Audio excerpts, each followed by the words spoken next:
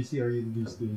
Uh, well, aside from the usual stuff that I do for the studio, which is uh, I produce artists and record some bands. Uh, right now, I'm doing a score for ETC. Kasi parang pinaparemix nila yung station ID nila. So that's something that I have on my plate. It's almost done, but uh, I need to do a revision. Uh, maybe you can come in later and have a look Yeah. at how I do that. Aside from that, uh, I also write for a DJ site. It's called Digital DJ Tips, and we're the largest community of DJs online. So aside from training materials, we also have gear and software reviews, and that's what I do mainly. Aside from doing yung mga news articles nila. Aside from that, uh, din ako. Uh, I'm a DJ. Um, I go by the name of DJ Joey Santos. Obviously, yung pangalan ko. Uh, that's what I do. I, I play for uh, festivals, events, kahit mga weddings, sobrang gusto ko yan. Tugtog ako wedding, mga baby. So, you know, it's fun. Uh, I get to share the music I like and, you know, I get to see people have a good time. It's a good thing. Aside from that, I also have a band. Uh, I'm in Halik ni Gringo. I sing for the band. Uh, I write some of the songs. Uh, most of the songs, uh, most of the music gets written by my bandmate, uh, Wacky Acosta. Pero most of the lyrics, uh, ako yung gumagawa. So, we're not too busy right now kasi we just released an album last January. And, yun, after na-release yun, parang pahinga muna kami. Kasi we all have jobs. They're all in the advertising industry. So, you know how busy that gets. Um, y- parang yun lang naman yung ginagawa ko.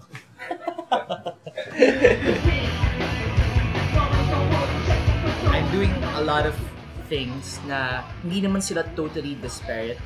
Uh, I mean, they're kind of related. They're all about music. They're all about performing music or DJing or recording. Pero at the same time, parang they're different activities. So parang what I've been trying to do is I try to slot all of those activities into different categories. Like, kunyari, uh, when I work on the site sa DJ Tips, it's still about DJing. Uh, when I shoot those videos about reviews or when I write an article about a tutorial on how to use a certain piece of software or how to use a certain piece of hardware when you DJ, it's still about DJing. So I can comfortably sort of put all of that in like a DJ in DJing box, di ba? And that is kind of separate to having like a band naman na pag sa banda, um, that's where I put like, you know, recording other bands or producing an artist or writing songs. You know, that's in another category altogether. So, alam mo um, I'm the type of person na sobrang nabobore ako when I do the same thing over and over. I used to work in the non-life insurance in, uh, industry like for three years. So, I was a claims manager, I was an underwriter, I was also a head of marketing at the time. So, medyo nabore ako nun after doing it for three years. And I was actually doing the studio on the side. So, and I think it's just a matter of kind of, you know, categorizing everything that you're doing. And then, if you're like me, na mabilis ka mabore, you just tend to get certain bits and pieces from different categories that you're interested in. And, you know, that's how you fill your day. Uh, being a DJ and a musician, parang uh, those two things in themselves, they sort of help each other. Because when you're a DJ, traditionally, you play other people's music. But like the modern connotation of being a DJ, uh, you also get to play your own music, your own edits, your own remixes. So being a musician, para you can bring your sensibilities about composition, arranging, and building a track. You can take those things and bring them to uh, the DJ aspect of you know uh, what you're doing. And conversely, uh, if you're a DJ, kung you're a musician as well, parang uh, you get to see how people react to the type of music that you play. Na hindi ka napipigeonhole into the type of genre that your band is playing or, you know, if you're a solo, per- uh, solo performer, the kind of music that you sing or perform. I think uh, they both have their own advantages and disadvantages. But when you're both, uh, you can have the best of both worlds. One of the challenges about being an engineer or a music producer is you get to work with other people's music so much to the point na sometimes you don't get to work on your own music anymore. I think the longer you stay in the industry and the more people want to work with you and you know the more work gets thrown your way uh, you struggle to find time to produce the music that you want or the music that you want to create. So yeah, it is a challenge to wear different hats, like um, being a DJ or being in the band, or you know, sitting down with an artist who wants to have her song done properly or something like that. Parang, I think for me, uh, that's the fun part na I don't really have to be one kind of person uh, when it comes to working in music. Because more often than not, um, you're gonna have like, lana, if you're like a super duper established artist, um, you're gonna be an artist like for the rest of your career unless you want to change, di ba? Pero, you know, since I started more or less, parang, I started with the studio in the early 2000s na I was still in college. Ako nagtatrabaho. So, I've always had one toe dipped in the backside of things, you know, um, in the production side of things. And, of course, the other side of me is sa performance naman. So, you know, I always like switching between uh, those two facets of being a musician.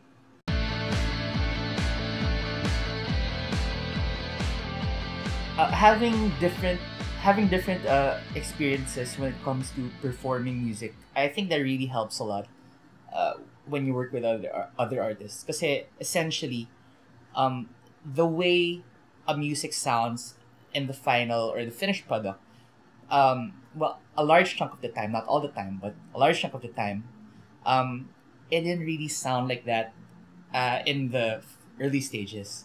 Kasi yun nangyayari, parang it's a product of all the people in the room, um, you know, chipping in their ideas, editing um, creative thought, you know, taking some stuff out, adding stuff in, you know, sometimes even arguing or fighting about the way something's supposed to sound like, you know, all of those things factor into what that final output sounds like. So I really think it's important to make music with other people. You know, um, lalo na ngayon na you basically have all the technology to produce music on your computer. Kahit nga sa phone, pwede mong gawin, di ba? Pero I think what's real fun for me and, you know, this happens all the time na I always think na I can come out like with the best version of a song that I made. And then when I introduce it to like my bandmates or when I introduce it to like uh, a friend na nagdi-DJ, parang parati may comments yan na, o baka dito pwede mong ibahin or tanggalin yung gitara dito, let's add in like, you know, a synth or let's put a drum fill instead of like um, this guitar riff. Parang ganyan. And in the end, um, you know, um, I think that's a trade-off that you have to do, uh, especially if you're a composer now. if you love the music that you make so much that you don't want other people to touch it, by the time that you bring it to like a band setting or, you know, parang if you're collaborating with someone, you really have to give that ownership to the other person then or the other group of people that you're working with. Uh, that's what music is about, I think. Yeah. Um, I I have a recording studio. It's called Love One Another Sound Production. And the bands or the artists that come here to record, parang they all have eh, it's two things. Either they have the full song ready, na they'll just come in and then we'll record them, we'll do some slight arranging, some slight production ideas, mix, and then you know, uh, it's good to go. That or uh, you have the kind of artist na parang he or she just has an idea of what they want. So parang kunyari singer-songwriter yan. Tapos, okay, I have the chords of my song, I have the lyrics of my song, I have the melody. But I want it to sound like a full band arrangement. So can you guys help me out? So when, when that happens, um, you know, we sit down with them and then uh, talk about how they want it to sound like, you know, um, get the feel for what the artist wants to achieve more or less. So yeah, and then uh, they come into the studio. Either we get musicians to play on the song, or you know, uh, we program them depending on the type of music uh, that they want, and then we record them. Once we're done recording, we edit. Uh, we do the post production stuff, mix, you know, have it mastered outside, and yeah, that, that's the that's mostly the process, like in a nutshell, for recording. I, I think yung producer eh, it's something that's changed so much from the time of like um the Beatles George Martin na basically was the fifth Beatle, di ba? Na siya nagsusulat ng harmonies, siya nagsusulat ng string parts, you know. Um, that was a producer back then, or like Phil Spector na gagawa siya ng recording concept of how something's supposed to sound, like, you know, his wall of sound. Or Brian Eno, who makes like all of these great ambient, you know, pieces like before. Uh, today, parang being a producer can be either somebody who gets super, you know, up close with the musicians and the music in every session, or it could be somebody who's kind of hands off, like kunwari, si Rick Rubin, na, you know, he's done work for like Beastie Boys, um, most recently, Kanye West, um, Metallica. Alam mo um, iba-ibang styles yan eh. And being a producer means, you know, there isn't really like a hard and fast rule about what you have to do to be a good producer. Basta, malabas mo lang yung music na gusto ng banda. When I first started recording, in 2002, um, yung internet at the time, it wasn't in its infancy, pero hindi pa rin siya as advanced with the way we know the internet to be today. Like, there wasn't YouTube at the time. Sure, there was file sharing in the form of Napster, Kazaa, LimeWire, Audiogalaxy, and all that. Pero hindi pa ganun kabilis. Kumbaga, the broadband speeds that we have today, we didn't have that back then. And then now, um, apart from apart from the internet, you also have all uh, this new parang production software, production and recording software that's gotten so advanced already to the point that um, a lot of electronic dance music artists, the software that they use, you could actually buy it on your own, and then you know you have access to the same sounds, you have access to the same workflow that they could use. There, syempre, may mga tutorials in online that you can watch. You know, see how like a certain producer um, studies a track, you know, produces it, polishes it, makes it viable for the dance floor. So I think in a lot of ways, um, technology and music, uh, they're really intertwined, and you know, um, it's really true in the uh, in the way that um, sometimes um, existing industries, like for example, recording industry, um, uh, these things can easily crumble uh, whenever it makes a shift to digital. Uh, that's what happened with digital recording. Na, you know, um, I think kung nag-start ako ng studio in 1992, hindi ako makakabili ng recording software. 300 pesos, di ba? Um, of course, you know, I don't want to encourage piracy. I mean, that was just being young and foolish of me. Pero the point I'm trying to make is, um, if it used to cost like a couple of million pesos to put up a small recording studio back in the day, and then suddenly, with like a week's allowance, pwede ka na gumawa ng sarili mong studio, you know that there's a disruption that's gonna happen somewhere down the line. And certainly feeling that right now. Um, wala nang major labels. People don't buy CDs anymore. You know, technology has that habit of changing the way people consume and even purchase things.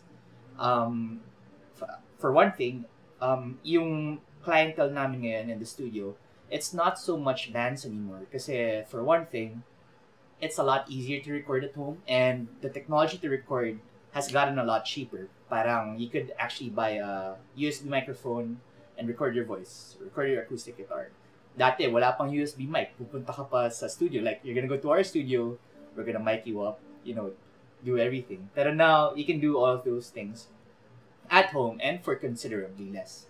So, one effect that's had on us is, syempre, magkakaroon yan ng shift in the client base that you're serving. Uh, one thing is, you know, we don't have as much bands anymore, primarily because a lot of bands would prefer to record at home. Uh, na in the style of music that we're keen on producing, which is like mga indie rock, uh, indie pop kind of music. Um, uh, but as, aside from that, um, we've also gotten, you know, a lot of corporate clients who, you know, before they'd only want to work like with the larger companies and the more established ones. Pero ngayon, since lumiliit din yung mga budget ng mga production and, you know, uh, they really want to pinch pennies when they can, um, sometimes they'd want to go to like a boutique studio like ours. Tapos, you know, since we have the facilities already, like, you know, the software that you need to do audio post-production or commercial spots or TVCs and radio ads. Since available na yan to like smaller studios like us, parang we can also get that share of the market nowadays. As opposed to, you know, again, if this were the 90s, sobrang hindi namin magagawa yun. Kasi, alam mo, aside from lacking the technical expertise, we wouldn't have the money for the equipment. So I think in a lot of ways, technology will really change the way people do business.